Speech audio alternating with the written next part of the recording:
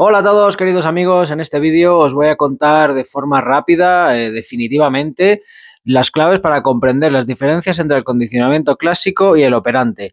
Creo que algunos de vosotros tenéis dificultades para entenderlo y a lo mejor siempre se os repiten los mismos ejemplos y demás, entonces con este vídeo lo que pretendo es que, aparte de que lo tengáis para que lo podáis consultar siempre, pues hacerlo de la manera más sencilla, más fácil y más comprensible posible. Eh, no voy a utilizar tecnicismos, no voy a utilizar eh, vocabulario súper específico, sino que te lo voy a explicar lo más sencillo para que lo tengas, lo, lo comprendas y luego ya con tu libro, con tus apuntes o lo que sea, pues le pones los nombres que, que correspondan. Vamos a ver. Hay como tres tipos de condicionamiento, realmente son dos, pero luego se añade el tercero, que es el vicario, pero vamos a centrarnos en el condicionamiento clásico y el operante. El condicionamiento clásico, que es el que descubrió eh, Ivan Pavlov, es el que todos conocéis de los perros de Pavlov, es un condicionamiento que se produce, esto es muy importante, entre estímulos.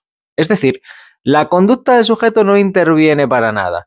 Cuando tengáis que explicar esto o cuando tengáis que hacer un examen, si veis que el sujeto hace algo, ya elimináis que sea condicionamiento clásico. ¿De acuerdo?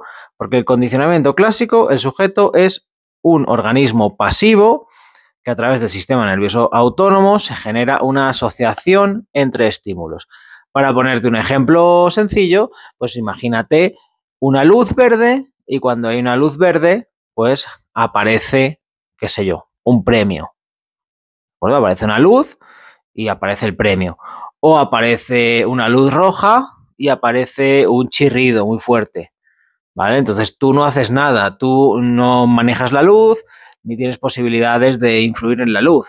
Eh, simplemente aparece un estímulo y ese estímulo es como que te indica, indica al organismo que va a aparecer otro. Entonces es una asociación entre estímulos.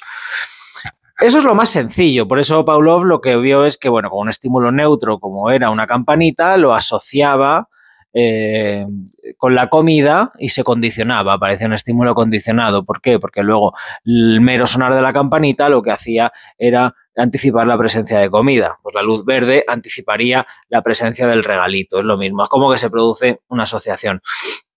¿Dónde lo vais a ver? Pues lo vais a ver mucho en la tele, o lo vais a ver mucho en publicidad. Por ejemplo, cuando se asocia un determinado producto a una determinada forma de vida o un determinado producto a unos valores, en las empresas, ¿no? Pues eh, cuando las empresas definen sus valores, pues asocian la marca con una suerte de ideas. Entonces se, se produce prácticamente en todos, en todos los aspectos de la vida. ¿Por qué? Porque aprendemos por asociación.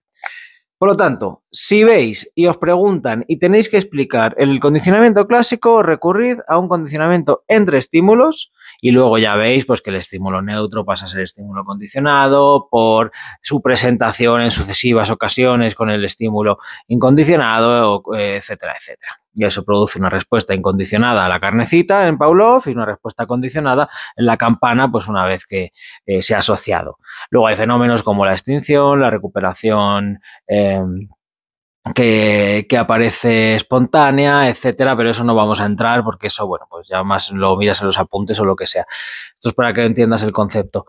Y luego, el condicionamiento operante, acuérdate, opera, el sujeto opera, hace cosas, se desenvuelve en el entorno y debido a sus actuaciones provoca unas consecuencias, ¿vale?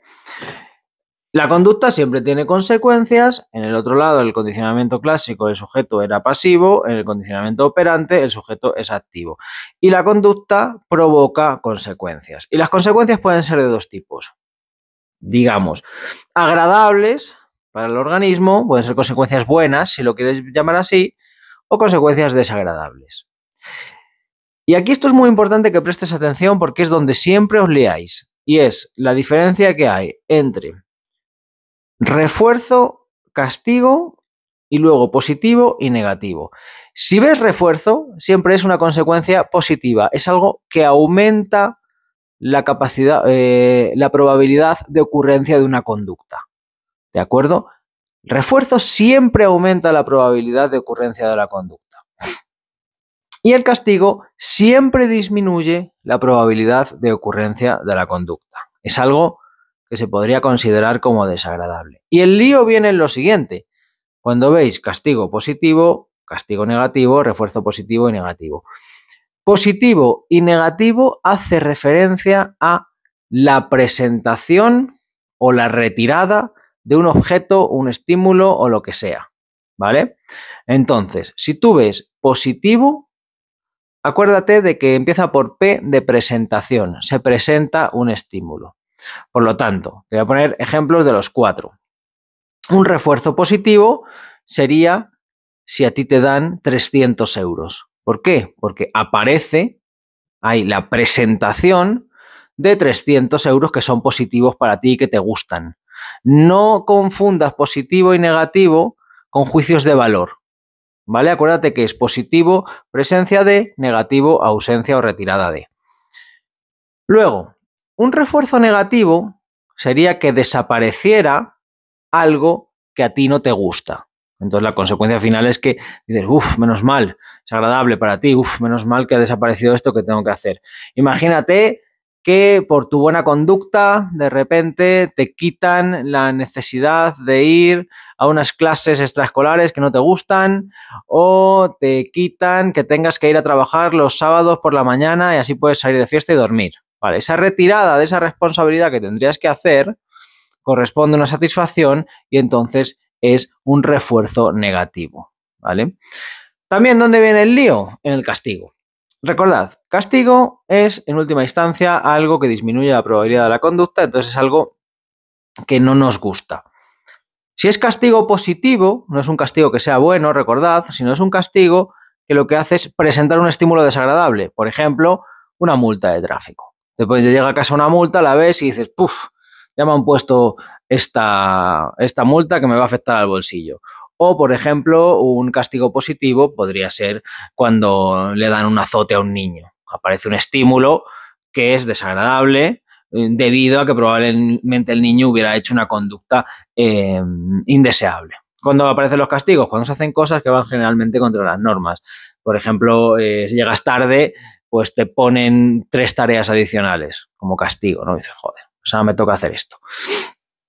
Y por otro lado, el castigo negativo es la desaparición, por eso es negativo, la desaparición de un privilegio o un estímulo que te gusta. Por ejemplo, te pueden castigar quitándote la play.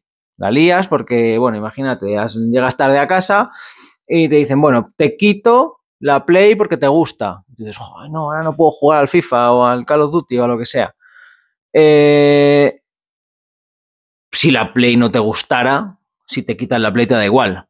Hay que decir, el, el castigo negativo es la retirada de algo que le gusta al sujeto. Por eso, en los programas de refuerzo, de castigo y los programas en los que hay de educación, eh, los que utilizan esta técnica lo que hacen es eh, detectar las cosas que son consideradas privilegios por las personas, porque de esta forma, cuando las retiras, eh, el individuo entiende que ha, sido resultado de su mala conducta, ¿vale?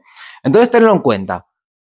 Tenemos el condicionamiento clásico entre estímulos y el condicionamiento operante entre respuesta y lo que se dice reforzador o, o lo que sea, ¿no? Y es la diferencia fundamental entre, estos dos tipos de, de condicionamiento.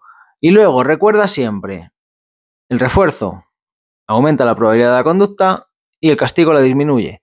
Y positivo y negativo no es que sean buenos o malos, sino que positivo lo que indica es la presentación de un estímulo y el negativo lo que implica es la retirada del mismo.